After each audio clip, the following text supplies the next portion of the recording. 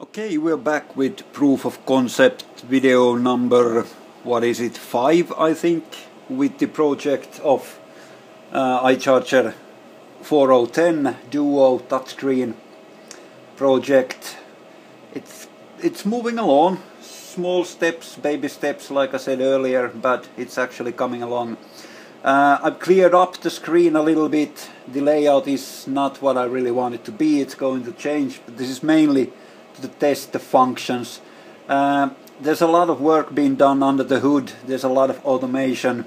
For example, there are status displays now with no battery and so on. Cell voltages, internal resistance is empty when there is no data.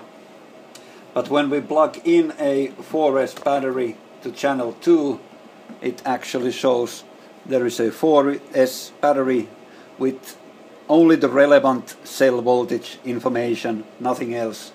And if we test the internal resistance, it actually shows that also automatically with the total and, and line resistance also.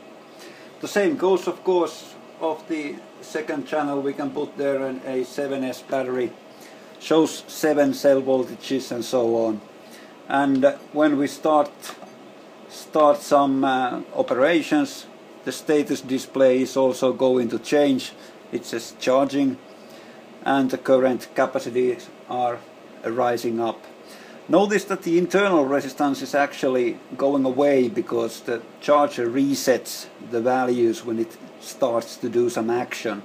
It doesn't own measurement in, in that point. Uh, we can clearly see it in the 4S if we start for example a, a discharge operation there uh, the internal resistance goes away. But the status shows discharging and the current and capacity are doing the minus sign because we are actually pulling power from the battery. So this is where we are at the moment. Uh, I have something cool for you. If I have time it'll be tomorrow. If I don't it'll be sometime next week. But wait for it, it's going to be cool.